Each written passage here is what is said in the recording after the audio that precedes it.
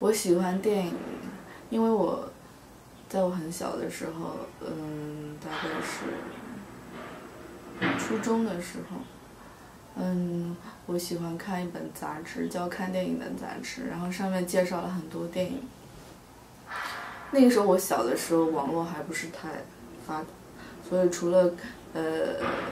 上学看书以外，最大的乐趣就是看电影。我会把所有的零花钱都拿过去买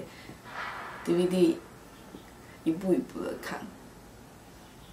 呃，你喜欢什么样的电影？我喜欢，我喜欢能够让人，